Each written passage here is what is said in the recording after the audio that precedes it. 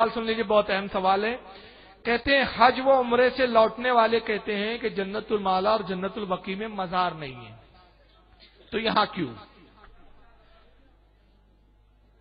देखिए, शरीयत का कानून कुरान और हदीस पे चलता है। किसी बादशाह का अमल या किसी मुल्क का कोई मामला, ये शरीयत की दलील नहीं बनती।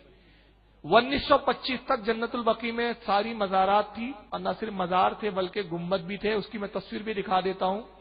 मेरे पास तुर्की की किताब है, जिसके, जिसमें सारे फ़ोटो तुर्की हुकूमत ने छापे थे। और उसी से हमने ये सब फोटोएँ निकाली है, जो नेट पर भी आपको अभी मिल जाएँगी। 1925 तक जन्नतुल बकी सब शरीफ में सब मजारात और गुंबद सलामत थे। यह है जन्नतुल बकी का वो मंजर जिसमें बड़ा कुब्बा जो आपको बड़ा गुंबद नज़र आ रहा है, उसमें खातून जन्नत हज़रत फातिमा की मजार है। उसमें हज़रत इमाम हसन है, उसी में इमाम बाकर है, इमाम जाफ़र है। और पास में जो छोटे छोटे गुंबद नज़र आ रहे हैं, ये अहले बैत के और साहबा इकराम के। ये 1925 का फ़ोटो है, जब तक ये 1925 तक था, जब वहाबी खबीसों की हुकूमत आई 1924 में। और देखिए दिन भी क्या था 24 सितंबर 1924 24 सितंबर 1924 को इन्होंने कब्जा किया। तो 1925 में अगले ही साल पहला काम यह किया कि जन्नतुल वकी को ढा दिया। और 1925 कब का है? ये अभी अभी का है। ये जन्नतुल वकी का पुराना फ़ोटो, अब ये ढाने के बाद का मंजर है। ये हज़रत फातिमा की मजार है ढाने के बाद। ये उस्मान गनी की मजार है ढाने के बाद। ये रसुल्ला के साहबजादे की मजार है ढाने के बाद। और ये मौजूदा जन्नतुल वकी की ये पोजीशन है। कब्रों के ऊपर से रास्ते तक गुजारे गए ये जन्नतुल माला का कब्रिस्तान है ढाने से पहले।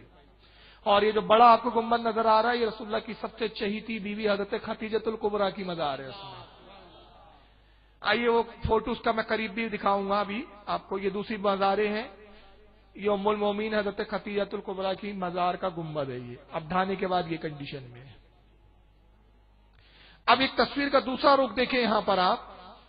सऊदिया में नहीं है तो सऊदिया कोई हमारे लिए मैार नहीं है। सऊदिया में रंडिया भी ना, नाचती है एक एक शेख के पास बीस बीस बीवियाँ हैं। आपको मालूम है किंग अब्दुल्ला मरे कितनी बीवियाँ रखते थे? तेरह। अमरुल मुस्लिमीन थे। तेरह बीवियाँ रखना जायज़ है बल्कि हदीस में तो है कि जिसने चार से ज़्यादा एक वक्त में बीवी रखी नबी फरमाते उसने गोया अपनी माँ को निकाह में रख लिया। सऊदिया में होता ये कोई मैार नहीं हदीस से पेश कीजिए कि रसुल्ला ने कहा किस कब्र को ढाने का हुक्म दिया। इस पर तो मैं चैलेंज कर चुका हूँ भाई।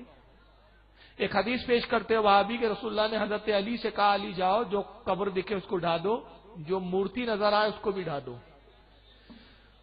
उसका जवाब हमने दिया और चार साल हो गए, मगर किसी माँ के लाल ने, किसी वहाबी ने अब तक जवाब नहीं दिया। मैंने उस पर यह सवाल कायम किया, मेरी तकरीर मुजरिम कौन और इल्ज़ाम किस पर?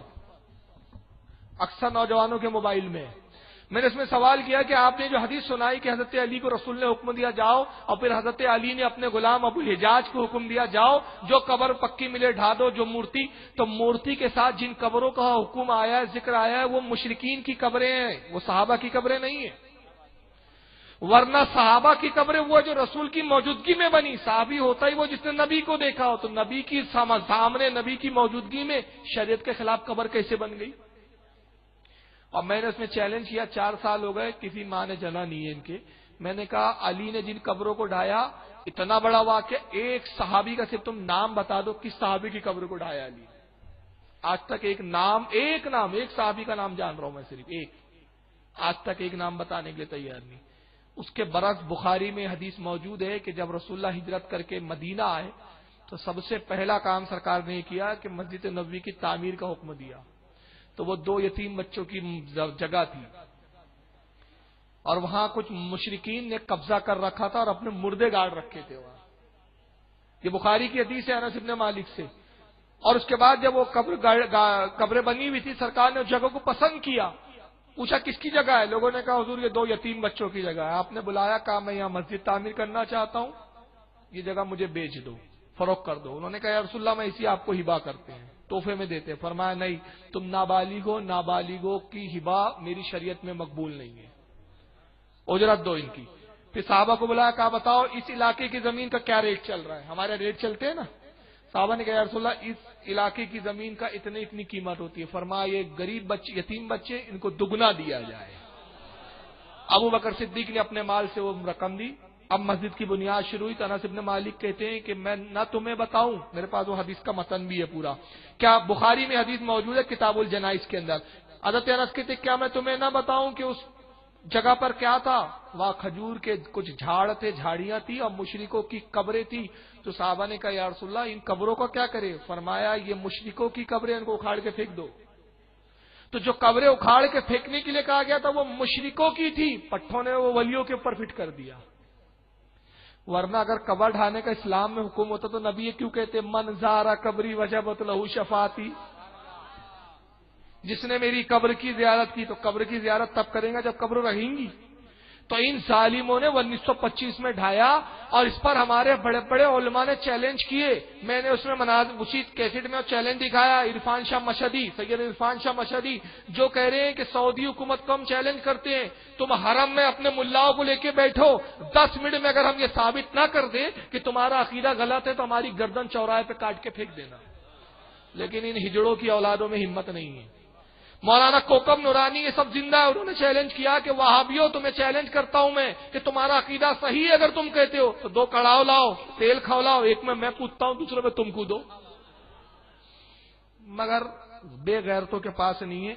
तो कुल मिला के सऊदिया में नहीं है, ये इस बात की दलील नहीं है।